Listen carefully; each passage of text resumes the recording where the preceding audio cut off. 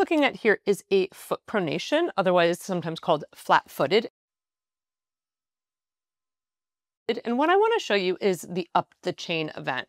So foot pronation often goes hand in hand with internal rotation of the, um, the shin, internal rotation of the femur, the tibia, so the thigh, it goes up the chain.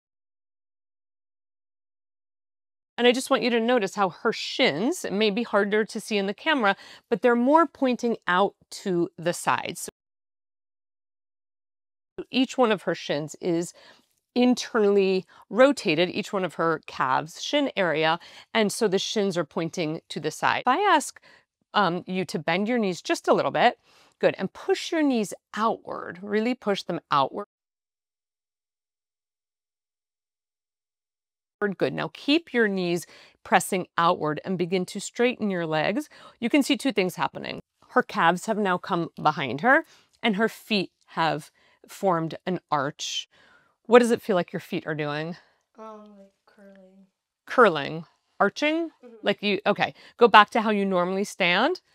Could you see that rotation go back to the correction? Yeah, go back to how you normally stand.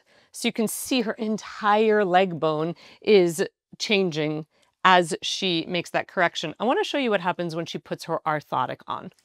So what we can see is now she's got her shoe on with the orthotic, but it didn't change the orientation of her shins, calves, and femur.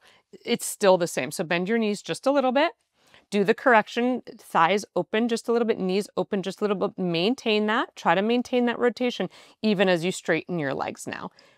Now she's made the change in through her legs. So the orthotics are fine. They're okay. I'm not talking about them being good or bad. However, the issue is, go back to how you normally stand. Yeah, you can see the rolling of her legs. Her legs continue to roll inwards, sending her calves outwards even though she's wearing an orthotic. That is the importance of doing your up the chain exercises if you have foot pronation, flat footedness.